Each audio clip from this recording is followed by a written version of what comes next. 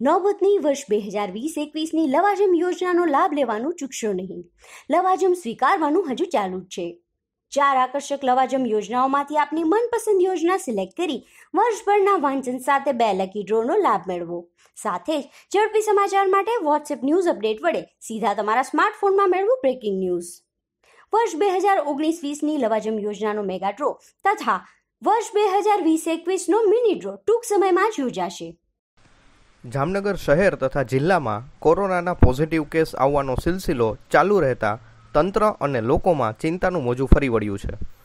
છેલ્લા ચોવીસ કલાકમાં નવા વધુ ઓગણીસ પોઝિટિવ કેસ આવ્યા છે, જે તમામને જામનગરની કોવિડ હોસ્પિટલમાં સારવાર માટે દાખલ કરાયા છે. જામજોધપુરના કોંગ્રેસના ધારાસભ્ય ચિરાગભાઈ કાલરિયાને પણ કોરોના સંક્રમણ લાગતા તેઓ રાજકોટની ખાનગી હોસ્પિટલમાં સારવાર લઈ રહ્યા છે. રાજ્યસભાની ચૂંટણી સમયે તેઓને કોરોનાનું ઇન્ફેક્શન લાગ્યા હોવાનું જાણવા મળે છે. જ્યારે જામનગરના નાયબ જિલ્લા વિકાસ અધિકારી કંચનબેન પરમારનો રિપોર્ટ પણ કોરોના પોઝિટિવ આવ્યો છે. જામનગરની આયુર્વેદ હોસ્પિટલમાં પણ કોરોના સારવાર શરૂ કરવામાં આવી છે, જ્યાં પંદર દર્દીઓની સારવાર ચાલુ છે. જામનગરની કોવિડ હોસ્પિટલમાંથી એક દર્દી સાજા થતાં તેમને ડિસ્ચાર્જ કરાયા છે. આ સાથે જામનગર શહેર જિલ્લા સહિત કોરોના કેસનો આંકડો એકસો એંસીથી વધુ થયો છે.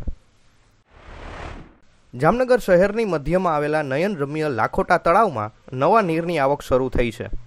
જામનગર જિલ્લામાં વરસાદ પડતા તળાવમાં પાણીના વહેણને ઠાલવતી નહેર મારફત નવા પાણી આવતા જૂન મહિનામાં પણ તળાવ સુકાઈ જવાના બદલે પાણીવાળું દેખાય છે.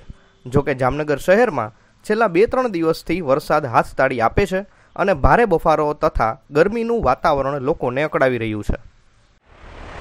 જામનગરમાં ખૂબ જ જોખમી રીતે વધી રહેલા કોરોના સંક્રમણથી ચાંદી બજારના વેપારીઓએ આજથી તારીખ ત્રીસ જૂન સુધી દુકાનો સ્વયંભૂ બંધ રાખવાનો નિર્ણય કર્યો હતો. પણ તેમાં આખો દિવસ બંધ પાડવો કે અંશતઃ તે અંગે બે જૂથ પડી ગયા હતા અને વિવાદ સર્જાયો હતો. જોકે ચાંદી બજારના મોટાભાગના વેપારીઓએ કોરોના સંક્રમણથી બચવા તેમની દુકાનો બંધ રાખી હતી. જામનગર સુરક્ષા સુરક્ષા સેતુ પ્રમુખ સુભાષ પાલા છે. અમે અમારે બજાર સવારે નવથી બે ખુલ્લી રાખવાની છે. અને બધા કમિટીએ નક્કી કર્યું બધાને પૂછી વિશ્વાસ થઈ બધા કીધું બરાબર નવથી બે અને આ જે બંધનું આવ્યું એ જાણ્યું અમે તો અમને કોઈ જાતની ખબર છે નહીં કે કઈ રીતના બંધનું આવ્યું કેને આપ્યું, શું કંઈ એ જ માટે મને જાણતા નથી. પણ અમારે સુવર્ણકારે એ આપ્યું છે કે સવારે નવથી બે દુકાન ખુલ્લી રાખી કે બધી દુકાનો ખુલી ગઈ છે. અને અમારો નિયમ એવો છે સુવર્ણકાર સેતુ એટલે જામનગર સુવર્ણકાર સેતુનો મતલબ એમ કે સોનીને સુરક્ષા પૂરી પાડવી. ચાર દિવસ બંધ રાખીએ અમે.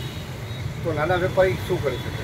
આજ તમને એક વસ્તુ કહું છું, એંસી દિવસના બંધમાં જો કોરોના નથી જઈ શકતું, તો ચાર દિવસમાં શું ફરક એટલે અમે નક્કી કર્યું કે આપણે બધાએ સવારના નવથી બે વેપારી બધા વેપારીને પૂછી લીધું વેપારી બધા પ્રેમથી કીધું, ના બરાબર છે. અને તોય છતાંય કદાચ કામ હોય ને બપોર પછી ક્યારેક આવ્યું હોય, છ વાગે ઘરાકને કામ દેવાનું, તો એ કરી શકે છે, અમે કોઈ, એમાં કોઈ મનાઈ નથી. પણ શ્રેક છે અમે નવથી બે બધાને આપેલું છે, અને બધા વેપારીને બધા મિત્રો અમારી કમિટી, આખી કમિટીએ મંજૂર કર્યું છે, અને કીધું છે, બરાબર છે. ઓકે. ગુજરાત રાજ્ય સરકારે કોરોના ટેસ્ટિંગ માટે ખાનગી લેબોરેટરીમાં વધુમાં વધુ રૂપિયા અઢી હજારની ફી લઈ શકાશે તેવો નિર્ણય જાહેર કર્યો છે. તેમાં જો કોઈ વ્યક્તિના ઘરે જઈને સેમ્પલ લેવાનું હોય તો હોમ વિઝિટ સહિત રૂપિયા ત્રણ હજારની ફી નક્કી કરવામાં આવી છે.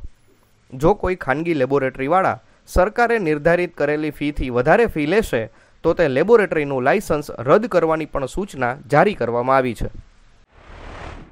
કલ્યાણપુર પંથકમાં વ્યાપક ખનિજ ચોરી થઈ રહી હોવાના અહેવાલોના પગલે દેવભૂમિ દ્વારકા જિલ્લાના ખાણ ખનિજ વિભાગે ભાટિયાની સીમમાંથી ગેરકાયદેસર ખનિજ ખોદકામ ઝડપી બોક્સાઇટનો જથ્થો તથા મશીન મળી રૂપિયા પોણા કરોડના મુદ્દામાલ જપ્ત કર્યો હતો.